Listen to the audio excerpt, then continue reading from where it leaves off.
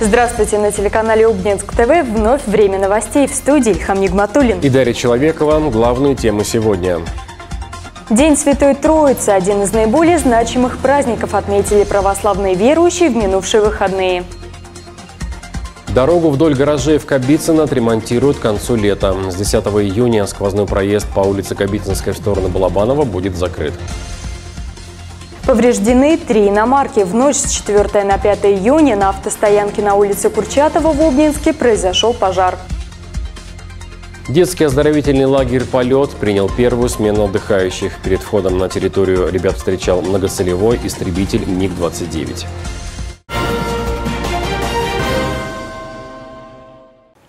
В минувшее воскресенье в православных храмах встречали День Святой Троицы. Второе название праздника – Святая Пятидесятница, поскольку это 50-й после Святой Пасхи день, в который, по обещанию Спасителя, апостолы получили дары Святого Духа. По традиции, в этот православный праздник стены храмов украшаются веточками березы, а полы – свежескошенной травой.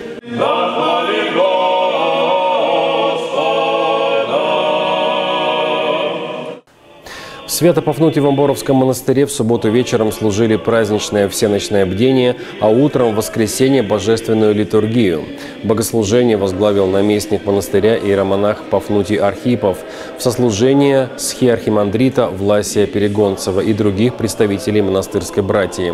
Многие прихожане после вечерней службы остались возле храма в ожидании духовника обители схиархимандрита Власия. Он благословил духовных чад и поздравил верующих с великим праздником Святой Троицы. На координационном совещании руководителей органов государственной власти и территориальных федеральных структур региона, проходившем сегодня в Калуге, обсуждали исполнение законодательства в сфере охраны семьи, материнства и детства, защиты законных интересов детей-сирот и детей, оставшихся без попечения родителей. Речь, в частности, велась о соблюдении законных прав несовершеннолетних детей, оставшихся без опеки родителей. Их количество в Калужской области сокращается. За прошлый год снижение составило 4,6%. В данный момент в регионе проживают около двух тысяч таких детей. Свои доклады, посвященные этой теме, коллегам из федеральных и региональных органов государственной власти представили министр труда и социальной защиты Павел Коновалов и министр образования и науки Александр Александр Аникеев. После чего слово взял прокурор Калужской области Александр Гулягин. Органами опеки не в полной мере исполняются требования закона, обязывающие их осуществлять контроль за сохранностью имущества подопечных, что влечет приведение жилых помещений в негодность, мы такие факты устанавливали а, невозможность проживания в них и, как следствие, признание идей, нуждающихся в улучшении жилищных условий э, и дополнительной нагрузки на бюджет имеют место нарушения, связанные с надлежащим исполнением государственных контрактов при строительстве жилья для указанной категории детей. Также выявлено нарушение, выразившееся в непостановке на учет в качестве нуждающегося в обеспечении жилым помещением. Хочу сказать в завершении своего выступления о том, что по проблеме детства и охраны детства, значит, меры, которые нами принимаются, будут только жестче. Поблажки здесь не будет с нашей стороны. Поэтому имейте это в виду. Спасибо за внимание. Доклад прокурора вместе с коллегами слушал и глава региона Анатолий Артамонов, который в это утро находился в Москве. Он отметил необходимость знакомства калужских чиновников с опытом передовых регионов в этой сфере. В частности, совсем скоро делегация нашего региона посетит Республику Татарстан. Особое внимание губернатор призвал уделить именно приемным семьям. Я хотел бы, в первую очередь, обратить здесь внимание глав администрации муниципальных образований. Вот то, что произошло тогда в Людиново, это в первую очередь стало возможным из-за бездеятельности э, местных органов власти и невнимания к той семье, которая должна была такое внимание испытывать. Обсудили в Калуге ситуацию со снижением количества маршруток в Обнинске. С 1 июня водители общественного транспорта обязаны иметь российские права, но в Наукограде они есть пока не у всех водителей-мигрантов, работающих у перевозчиков. Глава городской администрации Владислав Шапша сообщил о ежедневном мониторинге, в рамках которого измеряется среднее время ожидания маршрутки. При этом за три дня в администрацию поступило только две жалобы. Екатерина Замахина, Максим Сичко, Обнинск ТВ, Калуга.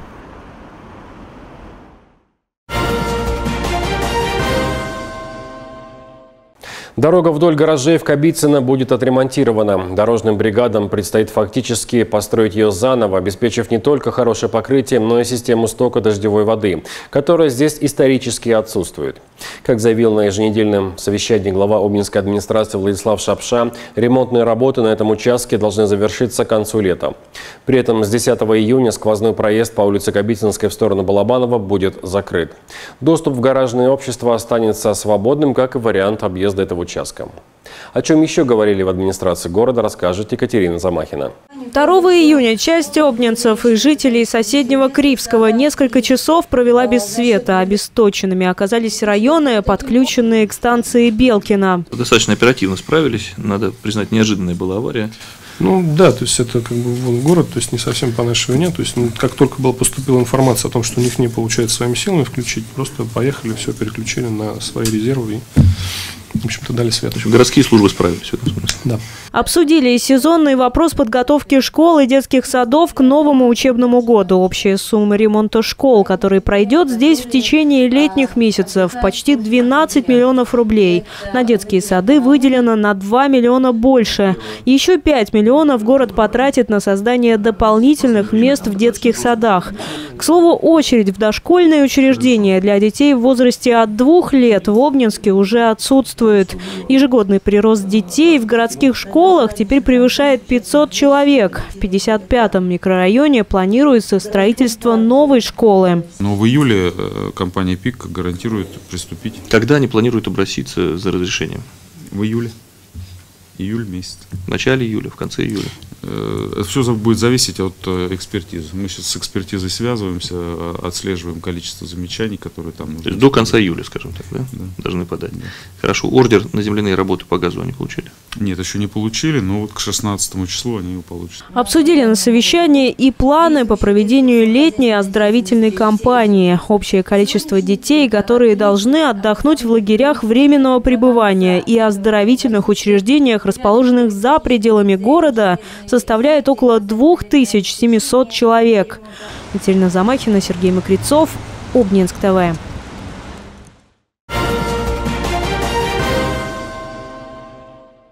На очередном рабочем совещании в администрации Боровского района сотрудники правоохранительных органов сообщили, что за прошедшую неделю поступило 307 сообщений и заявлений от граждан.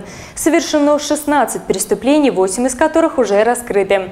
В статистике правонарушений по-прежнему преобладают кражи, на сегодняшний день велосипедов. На дорогах в Боровском районе было выявлено 6 пьяных водителей – на совещании обсудили и порядок выделения земельных участков многодетным семьям. Многие семей уже получили заветные сотки в таких деревнях, как Сатина, Жилетово, Отрепьево, Ильино и в городе Ермолино. Сейчас в планах Боровской администрации подведение коммуникаций к участкам, где их нет. Понятно, что это не просто решаемый вопрос с коммуникациями, но надо нам все равно планировать. И планы эти выполнять предельно точно. И если у нас есть понимание, там, что какие-то виды инфраструктуры построить, допустим, нам сложно будет очень быстро, да, то надо хотя бы реалистичный план составить и до э, людей его донести, чтобы они знали, что если не в этом году, да, то будет хотя бы в следующем. Глава администрации Балабанова Вячеслав Парфенов напомнил, что 12 июня состоится празднование Дня города. А в субботу на площади у Сквера Победы примут присягу на глазах у всего города солдаты срочной службы. Центральная улица будет перекрыта на несколько часов. О событиях, вошедших в хронику происшествий последних суток, расскажем в следующем сюжете. В воскресенье за помощью к стражам порядка обратился гражданин Узбекистана. По его словам, предыдущим вечером на улице Гагарина у него возник конфликт с соотечественниками в количестве четырех человек. Между мужчинами завязалась драка, но один в поле не воин. Мужчина не только получил телесные повреждения, но и лишился сотового телефона, находившегося в рюкзаке. Заявителя больше волновал факт кражи имущества. По словам мужчины, сотовый аппарат он приобретал в феврале этого года за 3000 рублей. Возбуждено уголовное дело. Случай, который произошел в одной из квартир дома на улице Звездной, просто поражает цинизмом людей, совершивших преступление. Утром в дверь к пожилой жительнице Наукограда позвонили двое незнакомых мужчин. Когда бабушка открыла, они толкнули ее внутрь, затем обмотали ее скотчем и потребовали деньги. Но так как наличных денег в комнатах преступники не обнаружили, они похитили у хозяйки все имеющиеся золотые украшения, после чего скрылись. К счастью, пожилая женщина не пострадала и отделалась лишь испугом. Бдительные соседи вызвали полицейских, которым потерпевший помогла составить фоторобот. Ведется розыск лиц, причастных к преступлению. А это видео с места происшествия прислал очевидец. В ночь с 4 на 5 июня примерно в 2.20 на автостоянке на улице Курчатова, 28А, загорелись сразу три иномарки. Предварительная версия случившегося – короткое замыкание в салоне автомобиля «Лексус», в результате которого произошел пожар. Владелица полыхающей иномарки кричала о помощи, но машину было уже не спасти.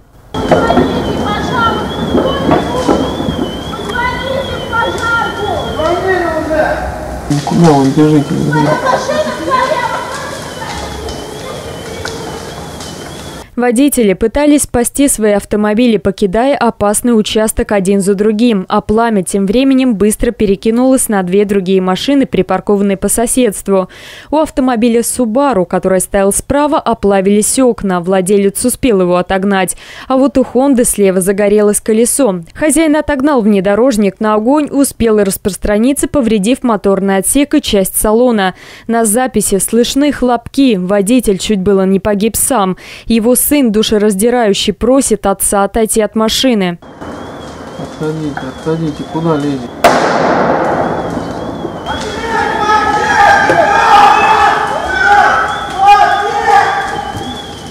Кадры этой ночи напомнили эпизоды фильма ужасов. К счастью, кроме транспорта в этом происшествии никто не пострадал. В настоящий момент проводится доследственная проверка по установлению всех деталей случившегося. Действительно ли это была неисправность электропроводки или же умышленный поджог. Дарья Человекова, Николай Подлипалин, телекомпания «Обнинск ТВ». В минувшую субботу детский оздоровительный лагерь «Полет» Обнинского научно-производственного предприятия «Технология» имени Александра Ромашина принял первую смену отдыхающих. В этот день ребят с началом летних каникул поздравил первый заместитель губернатора Калужской области Дмитрий Денисов. Побывала на торжественной линейке наш корреспондент Евгения Борода. Отряда! В оздоровительный детский лагерь «Полет» уже прибыло 170 детей. С каждым годом количество желающих провести летние каникулы в этом живописном месте только растет.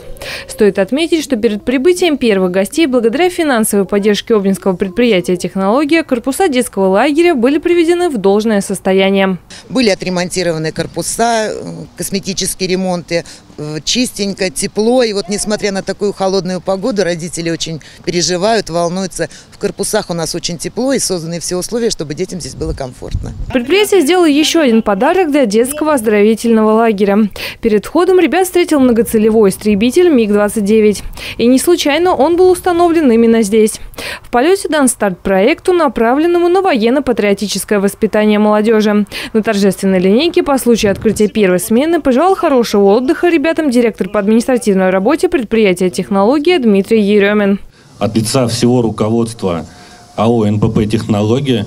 Я желаю вам хорошего, приятного отдыха и руководство, и все работники ОНПП «Технология» сделали все, чтобы лагерь был максимально комфортный для вашего отдыха и безопасный. Организация летнего отдыха детей – серьезный вопрос не только для родителей.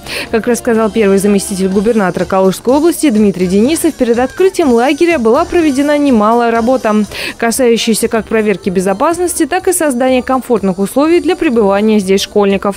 У нас нет никаких отрицательных оценок по данному вопросу со стороны федерального центра. Федеральный центр, наоборот, сейчас очень серьезно озадачился э, таким системным подходом к организации детского отдыха и оздоровления. Поэтому в ближайшее время будут и на федеральном уровне приняты необходимые нормативные правовые акты, в том числе э, в части санэпидем э, регулирования вопросов, связанных с организацией детского отдыха. Сами понимаете, есть какая ответственность у организаторов, связанная с содержанием такого огромного количества детей, огромная ответственность с организацией безопасности. Здесь это все обеспечено. Школьники были распределены в отряды в зависимости от своих увлечений. К примеру, спортивные, музыкальные и другой направленности. Запланировано, что мероприятия, организуемые для третьей смены детского лагеря, будут посвящены науке об окружающей среде в рамках Года экологии. Многие из ребят далеко не в первый раз приезжают сюда, чтобы вновь встретиться с друзьями и интересно провести летние каникулы. Был у нас тут много чего, всего. Мы с отрядом готовим э, разные выступления. Очень весело на тихом часу. Э, хоть нам и говорят быть потише, мы иногда шалим. В этом лагере мне нравится, здесь очень хорошо. Но я думаю, смена пройдет э, хорошо, но хоть и погода такая очень плохая, переменчивая, но ну что поделать, с природой не поспоришь. Сюда я приехала первый раз, и вообще в лагере я тоже первый раз. Когда я сюда приехала, э, мне прям очень сильно понравилось. Корпуса, очень хорошие ребята, мы с ними сразу подружились. Э, очень вкусно кормят в столовой, прям мне очень нравится. Мастер-классы, спортивные состязания, насыщенная концертная программа. И через три недели ребята из всех отрядов соберутся у традиционного прощального костра. Евгения Борода, Алексей Резвый, Хобнинск ТВ.